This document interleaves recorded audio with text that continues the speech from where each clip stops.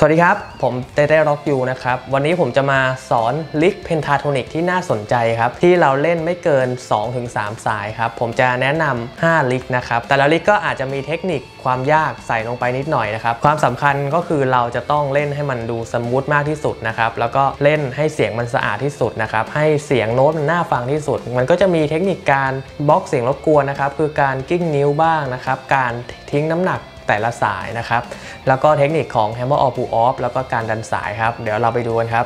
สำหรับลูกฝึก Pentatonic นะครับ ผมจะยกตัวอย่างคีย์ D minor แล้วกันบล็อกนี้เลยนะครับรูปแรกที่ผมแนะนำนะครับ จะเป็นลูกนี้ครับ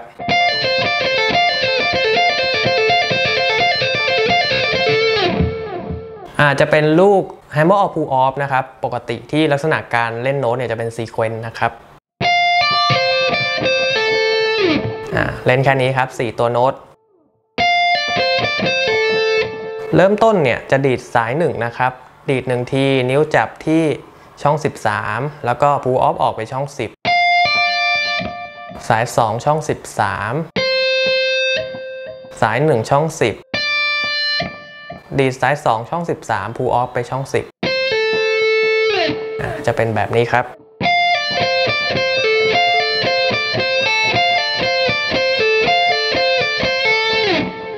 แล้วก็ลองเล่นเร็วๆดู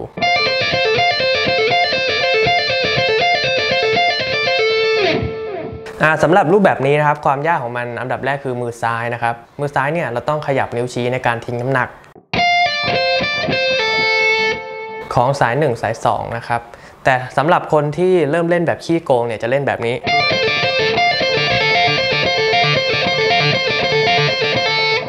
เขาจะทาบนิ้วชี้ไปเลยนะครับ อันนี้ผมพบเจอได้บ่อยเวลาผมสอนน้องๆนะครับ ที่เป็นลูกศิษย์ฝึกลูกเนี้ยเขาจะเอานิ้วชี้ทาบไปเลยนะครับ เพราะว่าเขาคิดว่านิ้วชี้เนี่ยอยู่ช่อง 10 เหมือนกันเราทาบไปเลยง่ายกว่า แต่ว่ามันจะทำให้เสียงรบกวนนะครับ เวลาเราเล่นคู่สาย มันจะมีเสียงรบกวนเวลาเล่นคู่สาย เพราะฉะนั้นเราต้องฝึกขยับนิ้วชี้ ทิ้งทิ้งน้ำหนักให้ถูกต้องนะครับ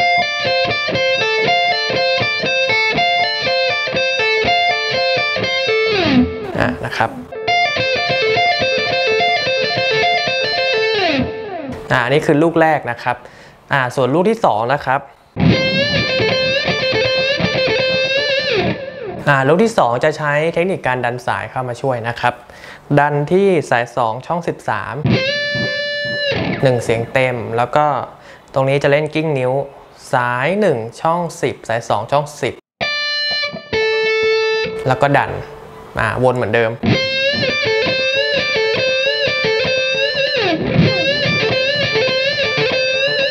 อ่าตรงนี้ความยากก็คือการบังคับโน้ตเหมือนกัน การกิ้งนิ้วของสาย 1 สาย2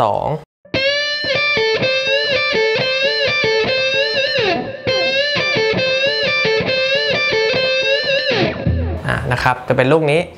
ส่วนลูกต่อไปครับ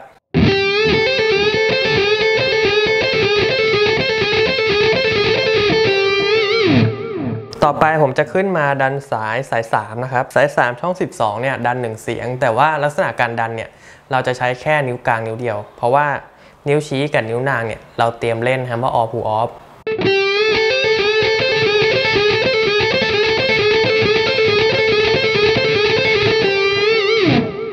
ลูกนี้จะคุมค่อนข้างยากนะครับสำหรับคนที่เริ่มเล่นแรก ๆนะครับ เพราะว่าเราต้องใช้แรงนิ้วกลางในการดัน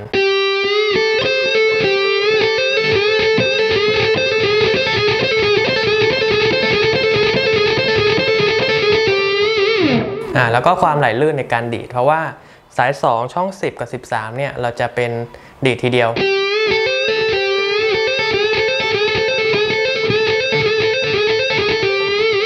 นะครับ เพราะฉะนั้นดีดสายละทีนะครับ อันนี้คือลูกที่ 3 นะครับ อ่า ลูกที่ 4 นะครับ ทีนี้ผมจะเล่นที่สาย 1 กับสาย 2 แต่ว่าเราจะเล่นแบบใช้นิ้วก้อยร่วมด้วยนะครับ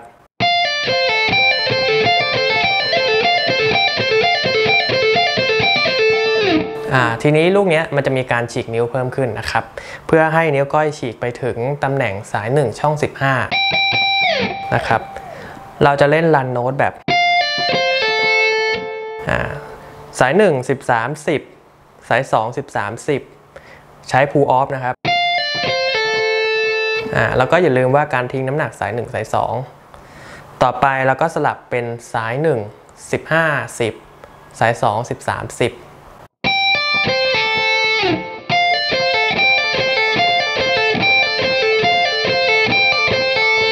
สลับแบบนี้ครับ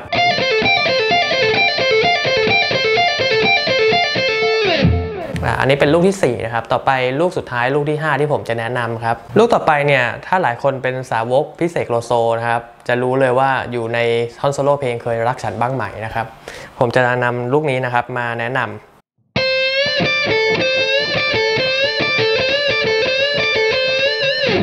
อ่าตรงนี้จะเล่นสาย 1 กับสาย 2 นะครับ สาย 2 เราจะดันสายช่อง 13 1 เสียงเต็ม แล้วก็กิ้งนิ้วนะครับ สาย 1 สาย 2 ช่อง 10 สลับกันไปเรื่อยๆ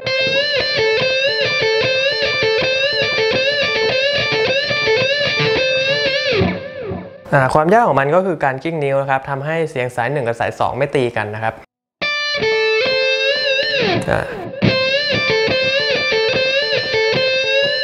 อ่าตรงเนี้ยครับลองค่อยๆ ฝึกดู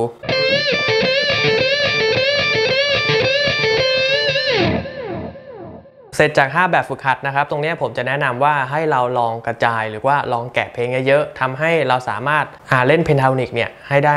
ชำนาญมากขึ้นนะครับอ่าสมมุติผมแตกนะครับ จากลูกฝึกเมื่อกี้